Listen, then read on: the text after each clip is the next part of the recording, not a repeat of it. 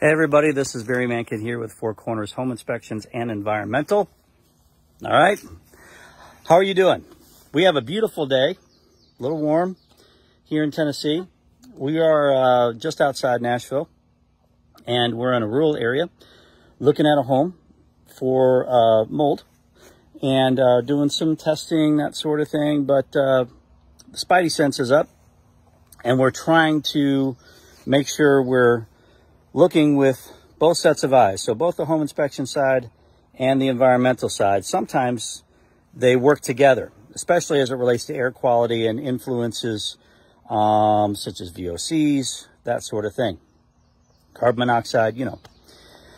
So with that said, we're going to show you a little something from our vantage point just right here alone, which we saw other things inside that we just don't have time for in this video. But simple rule, right? See that guy right there? Chimney.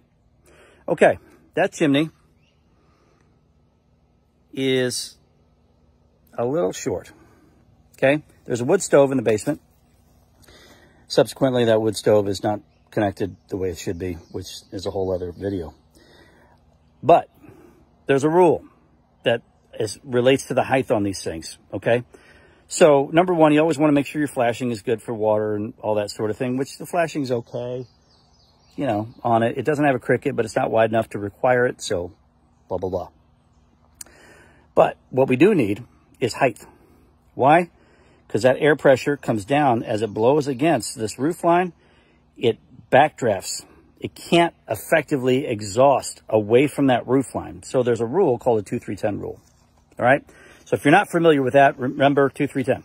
Okay? So we want to be two feet higher than anything within, well, anything within 10 feet across.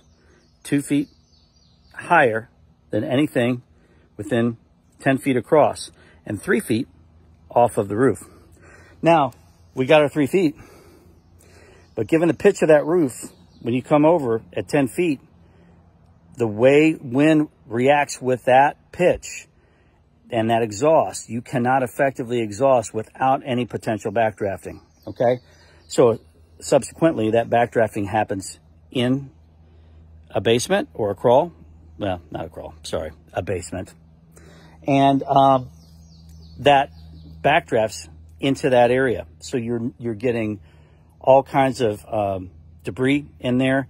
You're getting carbon dioxide, carbon monoxide, and your breathing space is compromised at that point because your house is pulling all that stuff up if you've got an HVAC unit, which they do, that's using that fresh air makeup, fresh air makeup.